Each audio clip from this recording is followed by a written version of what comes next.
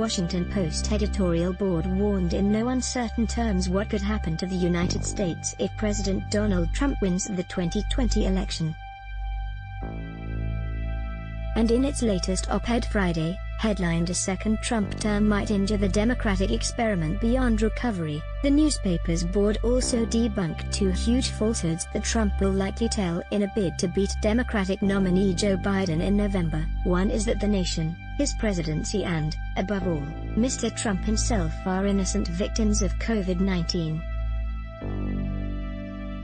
In fact, his own negligence, ignorance and malpractice turned what would have been a daunting challenge for any president into a national disaster, wrote the board. The other is that there was anything to admire in his record before the virus struck, it said. It is true that the economic growth initiated under President Barack Obama had continued, at about the same modest rate, Mr. Trump achieved this growth by ratcheting up America's deficit and long-term debt to record levels, with a tax cut that showered benefits on the wealthy. Ultimately, history will record Mr. Trump's presidency as a march of wanton, uninterrupted, tragic destruction, the board wrote.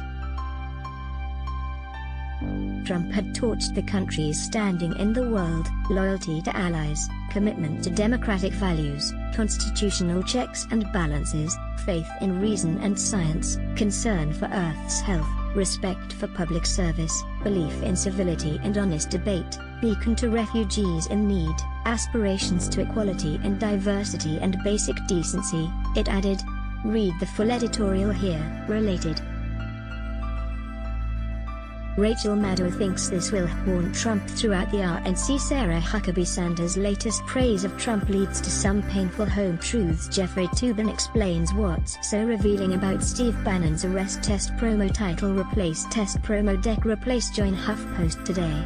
No thanks. Download calling all HuffPost superfans. Sign up for membership to become a founding member and help shape HuffPost's next chapter. Join HuffPost Let's block ads. Why? Show your love for him. Click the link in description. Thanks for watching.